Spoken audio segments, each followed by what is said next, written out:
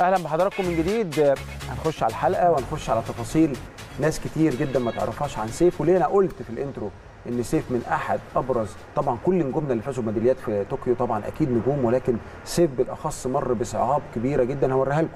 هنقول لكم الصعاب دي كانت إيه وإزاي راح على ميدالية. أهلا بيك يا سيف. أهلا بحضرتك.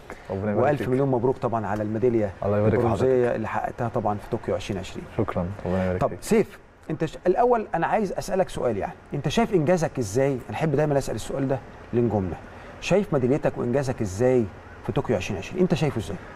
شايف والله إن يعني هو مش إنجاز يوم أو يعني أو ميدالية جت في يوم هو ده إنجاز آه، وتعب سنين.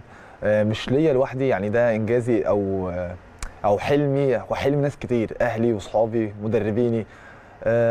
يمكن مصر كلها. فحاسس إن هو مش بس يمكن الناس شافت يوم اللعب أو يوم الميداليه والفرحة بتاعت يوم اللعب بس في سنين وتعب طويل آه، الحمد لله رب العالمين ربنا بارك وفي الآخر الميدالية دي ظهرت يعني.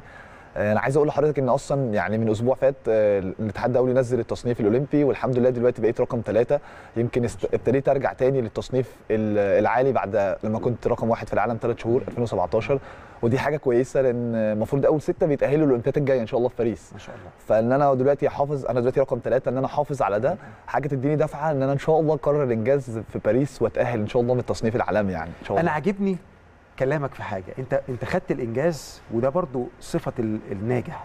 انت خدت الإنجاز اتكلمت عن الماضي واتكلمت عن المستقبل. الحمد لله. اتكلمت عن الماضي إن الميدالية دي ميدالية بس وراها تعب كبير. وطموح وأحلام وقصة هنقولها.